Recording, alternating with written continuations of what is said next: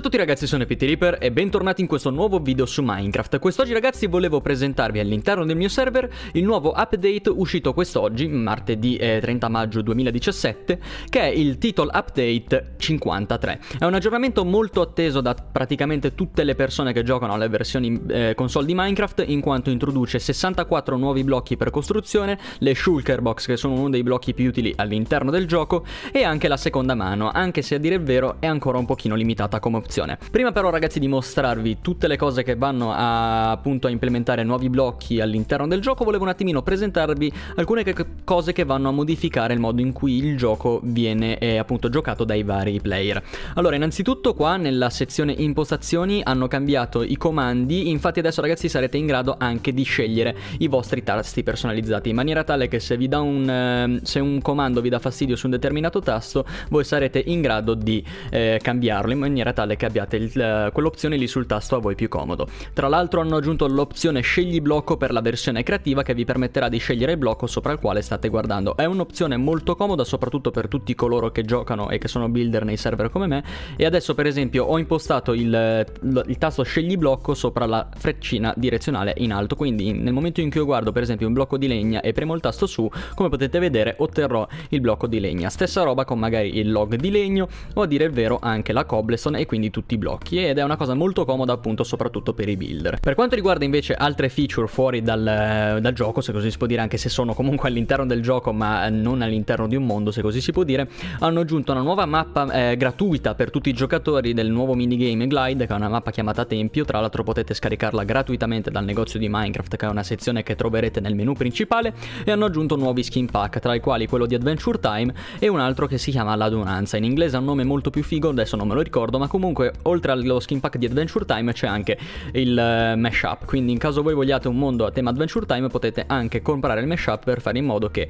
le skin di Adventure Time siano comprese nel mashup e abbiate oltre alle skin appunto anche un mondo a tema mashup. Purtroppo, a contrario della mappa eh, per il minigame glide, queste, questo mashup e questi pacchetti skin non sono altrettanto gratuiti, quindi purtroppo per ottenerli bisognerà sborsare qualche soldino. Per quanto riguarda invece ragazzi la cosa più interessante, ovvero le meccaniche che sono state aggiunte all'interno del gioco, hanno aggiunto i blocchi di calcestruzzo che sono questi qua in fondo, poi i blocchi di polvere di calcestruzzo che eh, come potrete immaginare serviranno per fare il calcestruzzo, poi ci sono i blocchi di terracotta smaltata che sono questi qua sopra che sono i più decorativi a mio parere, però non saranno molto utilizzati, e poi hanno un attimino ricolorato i, tutti i blocchi di terracotta qua sopra in maniera tale che siano un pochino più saturi rispetto a quelli che erano prima e hanno anche leggermente modificato i banner e i blocchi di lana, infatti qua come potete vedere i colori sono un pochino più accesi e rispettano molto di più i colori che dovrebbero essere, infatti la lana gialla è molto più gialla rispetto a prima e anche la lana turchese che prima erano più che altro di colori non molto simili a quelli che dovevano essere.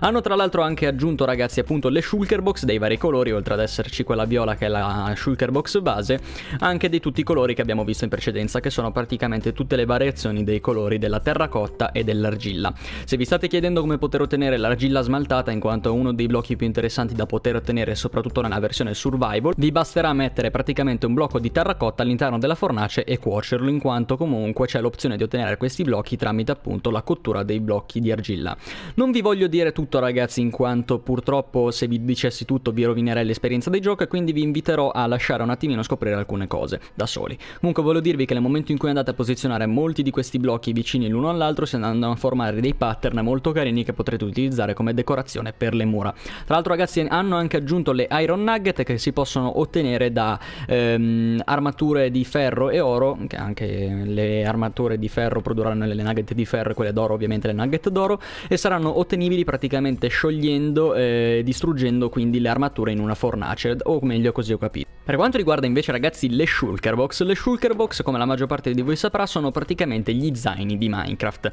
Infatti questi blocchi potranno essere portati in giro dai giocatori con un certo eh, numero di oggetti al loro interno, adesso vi faccio anche vedere. Comunque ragazzi, come funzionano queste shulker box? Praticamente hanno un comportamento molto simile a quello delle ender chest. Infatti saremo in grado di depositare degli oggetti al loro interno e dopodiché per esempio eh, metto dentro queste frecce e dopodiché potremmo riprenderci un attimino la shulker box portando portandoci dietro tutti gli oggetti. Al contrario dell'Ender Chest innanzitutto, questi, queste Shulker Box non si distruggeranno in pezzi di ossidiana quando le distruggeremo, in quanto le Ender Chest per fare in modo che le riotteniate dopo averle distrutte serve un piccone con Silk Touch, mentre le Shulker Box no, e tra l'altro qua all'interno all'interno ci potremo vedere un attimino cosa conteniamo. Infatti ragazzi le shulker box sono pensate appunto per essere come degli zaini e non come delle ender chest che sono praticamente delle chest che sono accessibili da qualsiasi punto del mondo in cui voi eh, possedete appunto una chest. Quindi diciamo che le shulker box sono molto molto più utili delle ender chest a mio parere, sono allo stesso tempo anche molto diverse perché non si possono depositare gli stessi oggetti che ci sono qui,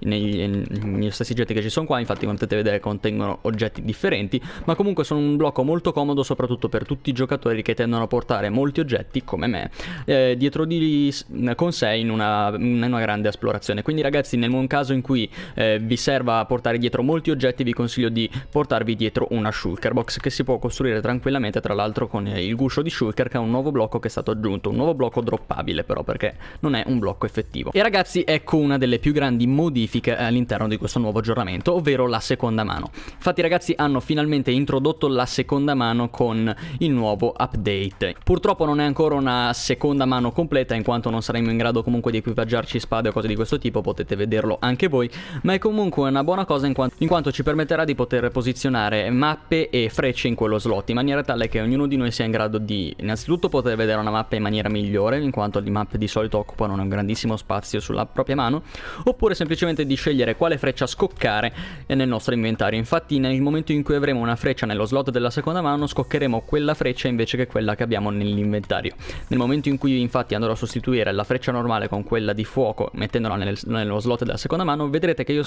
scoccherò una freccia normale invece che di quella infuocata che ho sparato prima. Quindi diciamo che è una cosa ancora da eh, completare la seconda mano ma comunque è un buon inizio potete vedere come si svilupperà poi con il passare del tempo quindi diciamo che comunque è una buona, buona modifica. Non pensavo che l'avrebbero aggiunta in quanto è molto difficile da implementare come eh, feature all'interno del gioco, ma comunque vedo che ci sono riusciti perfettamente e sono molto molto contento perché può essere veramente comoda. Poi ragazzi, altra modifica che hanno implementato è la possibilità di utilizzare i razzi per volare con l'Elytra, che è una cosa molto comoda, soprattutto perché molti dei, eh, degli Elytra Launcher che erano disponibili su PS4 sono stati patchati con l'ultimo aggiornamento. Per quanto riguarda invece ragazzi appunto il volo con l'Elytra, vi basterà essere... Eh, ad un determinato livello d'altezza per poter attivare le dita normalmente e dopodiché utilizzare il tasto usa dei razzi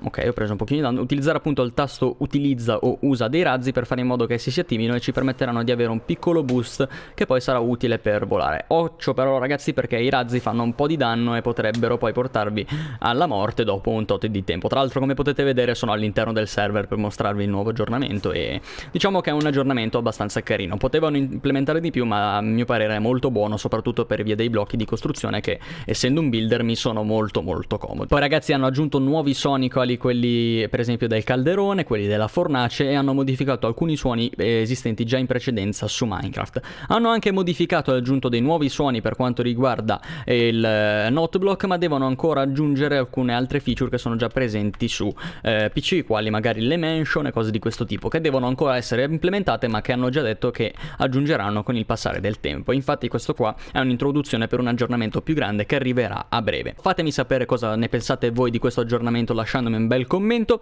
Detto questo ragazzi spero vivamente che questo video appunto anche se semplice vi sia piaciuto. Mi raccomando ragazzi fatemi sapere con un bel mi piace se questo tipo vi può piacere in quanto oltre a supportare me la serie supporta anche il canale. A questo punto ragazzi dovrò anche iniziare la nuova serie in quanto avevo detto che con l'inizio del con l'arrivo del nuovo aggiornamento avrei anche iniziato la nuova serie e a questo punto ragazzi vi voglio augurare come sempre una buona giornata, una buona serata e a questo punto ragazzi ci vediamo nel prossimo video. Divertitevi nel nuovo aggiornamento e appunto come detto prima fatemi sapere cosa ne pensate. Ciao a tutti ragazzi, alla prossima!